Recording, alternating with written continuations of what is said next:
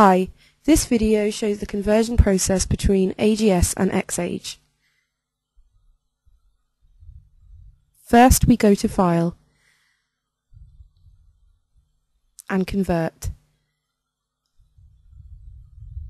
We must then select the AGS game we are converting, the folder the AGS sprites room graphics are exported to, and the destination folder for our new XAge project. Here we are converting Demo Quest, which just takes a few seconds. All the characters are placed in the global room. We can tell character Chris is our player character as she has a white icon. Double click on her as we need to change her starting room.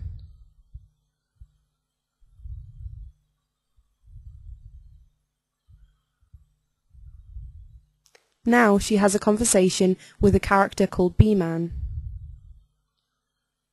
We need to increase B-Man scaling as we're not able to pull this from AGS. We also need to add a new script to invoke our conversation. This script has a single action. Start conversation with B-Man. With ID D meet B-Man.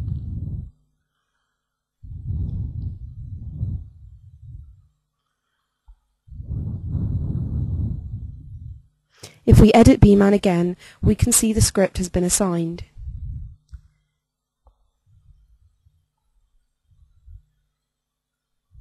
We can also see the conversation has been ported over from AGS.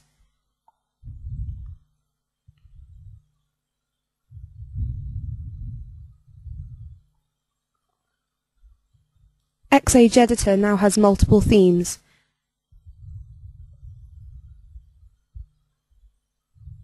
my favourite being this hot pink mess.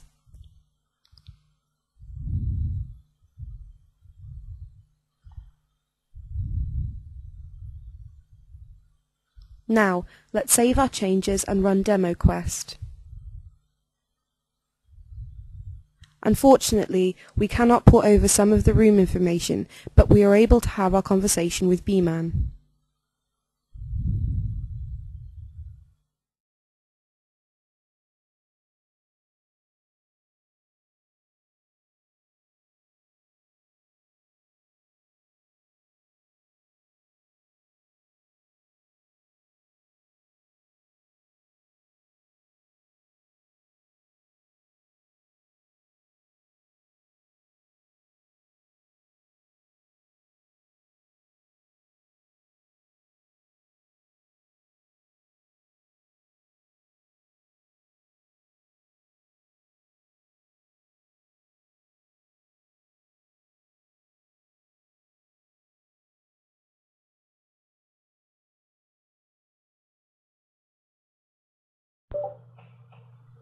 And this is what it looks like on the Xbox 360.